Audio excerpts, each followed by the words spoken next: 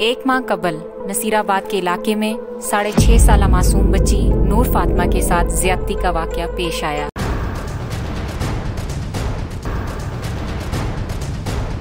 جو ایک blind case تھا، کیونکہ اس میں بچی سہمی ہوئی تھی اور کچھ بھی بتانے سے قاصر تھی، اور ملزم کا ڈی این اے بھی دستیاب نہ تھا، لہٰذا ایسے حالات میں کیس مزید پیچیدہ ہو گیا تھا۔ ایک ساڑھے چھ سال کی بچی نور فاطمہ کے ساتھ دن کے وقت زیادتی ہوئی اور ہمارے لیے جو چیلنج تھا ملزم کو گرفتار کر کے اس کو کیفرے کردار تک پہنچا سکیں علاقے میں سب جتنے C C T V footages ہمیں اویلیبل تھے، ان سب کی ریکارڈنگ ڈی وی آر ہر طرح کوشش کی گئی۔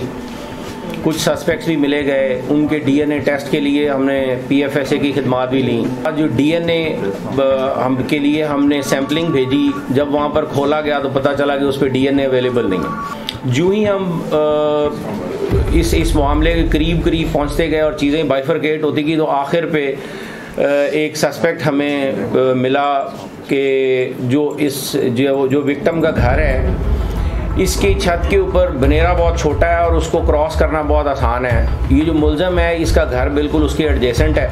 اور یہ میاں بیوی دونوں رہتے ہیں اور اس کو بھی سسپیکٹ کے طور پہ ہم نے پولیگراف ٹیسٹ کے لیے بھجوایا۔ پی ایف ایس اے نے وہاں سے رپورٹ دی کہ یہ ڈسیپٹیو ہے۔ اس کے پولیگراف کے بعد جب اس نے انکشاف کیا تو اس کے بعد آنورڈ اس نے ہمیں وہ باتھ روم کی جب ذکر کیا تو وہ بچی کا اور اس کی سٹیٹمنٹ کورسپونڈ کری، تب جا کے ہمیں امید جاگی کہ جی بات جو ہے وہ تفتیش کے مراحل کو کراس کرنا شروع ہوگی بندے کو سمجھ آ گئی کہ جی چیزوں اب ڈسکلوز ہو گئی ہیں، اب چھپانا مشکل ہے۔ اس نے ہمارے ساتھ پھر کوآپریٹ کرنا شروع کر دیا اور پھر اس نے پورا انسیڈنٹ ڈسکلوز کیا۔ میں اپنی گھر چھت بچی پھر گھر چھت لٹ کے انہاں دے گھر نسیا تے انہاں نوں بچی پھاڑ کے تے باتھ روم لے گیا باتھ روم لے کے انہاں نال جلتی کہ اللہ بھی اللہ اللہ کو میں معافی مانگنا، کہ اللہ بھی ہمیں من معاف کر